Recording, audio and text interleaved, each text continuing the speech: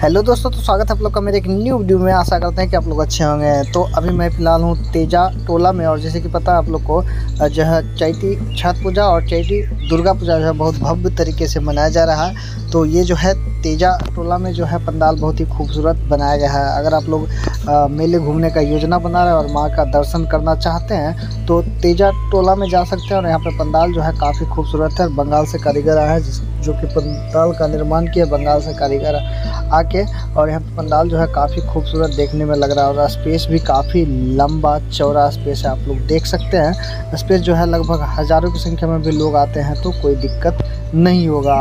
अगर यहाँ आप लोग जाते हैं तो यहाँ पे है बहुत सारा बच्चों के लिए झूला भी आप लोगों को देखने को मिलेगा। ऐसे बड़ों के लिए भी झूला, नाव वाला झूला जो है, बड़ों के लिए भी लगाया गया है और ख़ासतौर पर बच्चों के लिए जो है, काफ़ी झूला यहाँ पे देखने को आप लोगों को मिलेगा। तो यहाँ पे जा सकते हैं और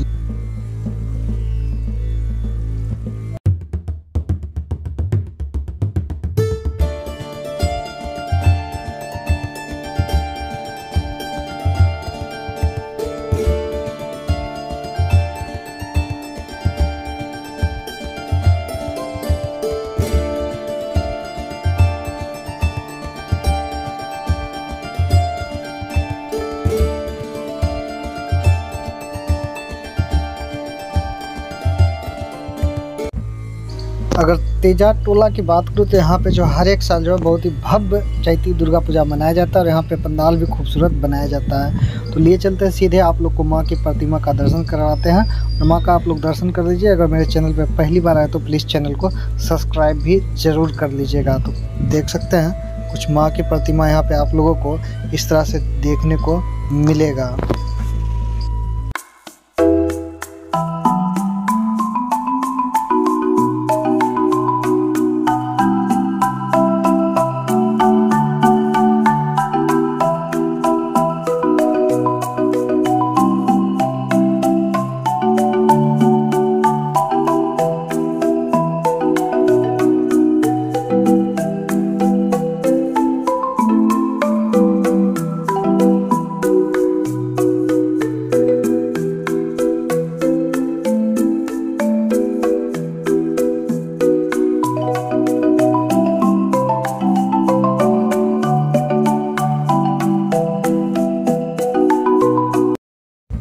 जैसे कि आप लोग को पता होगा, ओटी पारा में जो है काली पूजा बहुत ही भव्य तरीके से मनाया जाता है। लेकिन इस वर्ष ओटी पारा में जो है जैसे कि चैती दुर्गा पूजा का भी बहुत ही भव्य तरीके से पंडाल बनाया गया है और यहाँ पे भी पंडाल काफ़ी खूबसूरत देखने में लग रहा है। जैसे कि यहाँ पे देख सकते हैं, इस तरह से आप लोग को पंडाल देखने को मिलेगा जो कि सिमरतल्ला क्लब के द्वारा बनाया गया है। तो यहाँ पे देख सकते हैं, पंडाल यहाँ पे भी काफ़ी ऊँचा पंडाल आप लोग देख सकते हैं पंडाल जो है। काफ़ी ऊँचा पंडाल यहाँ पे भी है और सीधे अंदर लिए चलेंगे और अंदर का नज़ारा काफ़ी खूबसूरत इस पंडाल में देखने को मिला। जैसे कि यहाँ पे काली पूजा बहुत ही भव्य तरीके से तो मना ही जाता है। अगर लोग यहाँ पे काली पूजा बहुत दूर दूर से घूमने आते हैं तो सीधे लिए चलते हैं अंदर और आप लोग को माँ की प्रतिमा का दर्शन करवाते हैं। अगर मेरे चैनल पर पहली बार आए तो प्लीज़ चैनल को सब्सक्राइब ज़रूर कर लीजिएगा। तो कुछ इस तरह से आप लोगों को देखने को मिलेगा। अंदर देख सकते हैं आप लोग। काफ़ी खूबसूरत, जैसे कि ये देख रहे हैं ऊपर,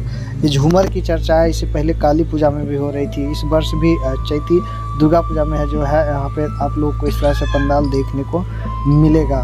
देख सकते हैं आप लोग, काफ़ी खूबसूरत देखने में लग रहा है। अगर पंडाल की बात करो तो ये पंडाल जो है काफ़ी ऊँचा जैसे कि सिमरतला कलम में जो है काफ़ी ऊँचा पंडाल बनाया ही जाता है काली पूजा में, लेकिन इस वर्ष चैती दुर्गा पूजा में भी काफ़ी ऊँचा पंडाल बनाया गया तो यहाँ भी जा सकते हैं और मेला घूम सकते हैं साथ साथ माँ की प्रतिमा का दर्शन भी कर सकते हैं। तो कुछ